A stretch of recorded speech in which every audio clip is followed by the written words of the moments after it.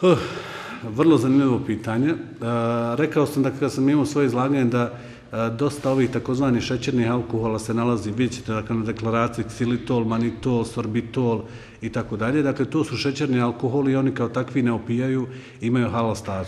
Međutim, vrlo često se da, može u žvakama da se, da se potkrade uh, svinski želatin koji nije deklarsan, dakle, o tome morate vod računa.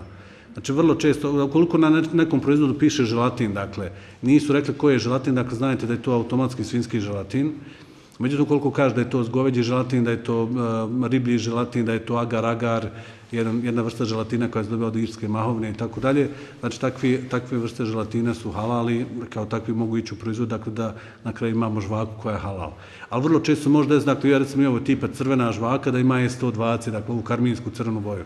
U ružama za usne, dakle, najčešće ima, dakle, tako da onaj, da i djevojke moraju provjeriti onaj, sa proizvođačima ruževa za usne, dakle, koji kupuju. Dakle, ima, pasite, ima varijanta, dakle, varijanta je vrlo jednostavna, dakle, to je crvena boja cvekle. Znači, crna boja cvekle da posježe isti efekt u jarku crvenu boju, a ima halal status.